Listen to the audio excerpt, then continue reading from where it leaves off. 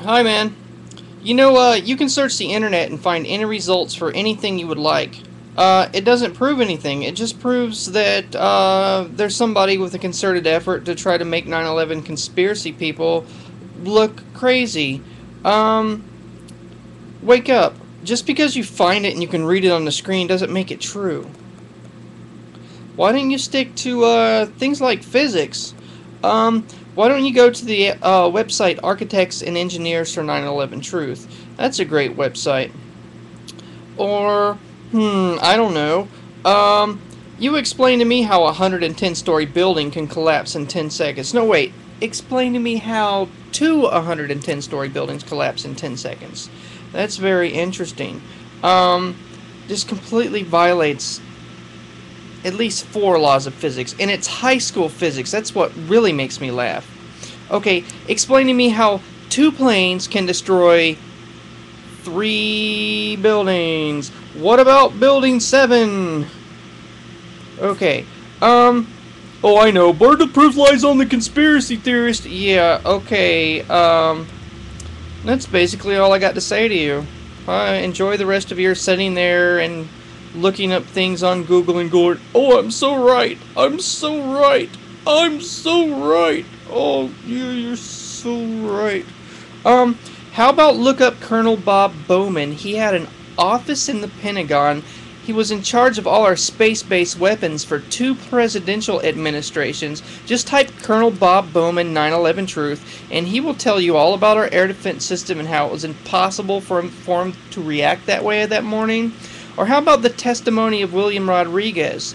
William Rodriguez heard a bomb go off in the basement of the World Trade Center. I personally met the guy, okay? He heard a, an explosion go off in the basement of the World Trade Center that pushed the building upward before the first plane hit. Incidentally, yes, his testimony should be um, uh, paid attention to, can't be debunked because he was actually in the building in 1993 when another bomb blew up, so he knows exactly what an explosive sounds like. Okay, um, what about the firemen? Okay, um, what about the firemen talking about bombs in the building? I, I, I got I got something for you to do a Google search for, and I dare you to read this aloud. Okay, I want you to type Oral Histories of 9/11, The New York Times. Pay your couple dollars to read it, and scroll down to page four. You'll find your very first bomb reference or explosion. A lot of them say bombs or explosions, not I heard a bang, okay? Of which there are hundreds of references. How come you're cherry picking through stuff and not actually talking about anything that might support um, the idea of a conspiracy theory? Okay, when I try to find out so- if something is true or not, I like to read both sides of an issue and try to find a middle ground. I know that's probably impossible for someone who is narrow minded as you, but I just like to throw that information out there just in case you'd like to hear it. Okay, enjoy the rest of your smug glib sitting there talking crap about people who have legitimate questions. Oh, incidentally, here's one for you. I, a lot of people talk about, oh, well, what what could possibly be the motive for us attacking ourselves? Okay, do a Google search for this, man. Okay, Don Rumsfeld, that's Donald Rumsfeld, Secretary of Defense at the time of 9 11, gets on TV September 10th, 2001, and announces announces that the Pentagon has misplaced 2.3 trillion dollars the day before 9/11. Oh, what a great coincidence. So, because of the timing of 9/11, the Pentagon get to keep a misplaced 2.3 trillion dollars. Okay, why don't you look at people in Congress and Senate and people in the know that talk talk about 9/11 truth? Like, for instance, how about Andreas von Bülow, uh, ex German defense minister, or how about Congresswoman Cynthia McKinney? She's running for president right now. Um, hmm, how about Congressman Ron Paul from Texas? Um, Congressman Dennis Kucinich. Hmm. Yeah, all these people must be uh, crazy, right? Uh, that's all I like to say. Oh, and don't forget to look up the New York Times oral history of 9/11 because there are literally hundreds of references to explosions. Okay? And jet fuel does not melt steel. Okay? Uh, two 110 story buildings cannot collapse in 10 seconds. Not on this planet, not with our gravity. Okay? No way, no how. One 110 story building cannot collapse on this planet in 10 seconds. There's just no way. Okay? I'm not just saying there's no just no way. There are physics graphs that you could look at, okay? Um just just look at graphs and tables, man. Fuck.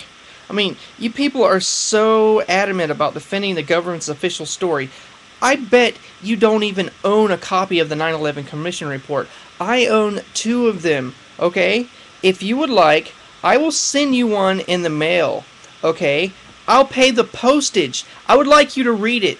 You, it was a purely a political report. Okay, it's not even. Okay, you, you think there's a government official story? There's not even a, a government official story. There's a government official conspiracy theory. The 9 11 Commission report wasn't even a real investigation. It wasn't really a formal investigation. No one had to swear under oath that what they were saying is to be true. It was called an informal inquiry or an exhibition. Okay, the largest act of terrorism in the history of America. Okay? and they they wait freaking 400 days before they even start an informal inquiry. What more do you want? I mean, what more do you want? Okay, I don't know what exactly happened on that day, but I definitely know what didn't. I know that jet fuel and airplanes did not cause an explosion in the basement before the first plane hit. I definitely know that. Okay, I know that buildings do not collapse horizontally.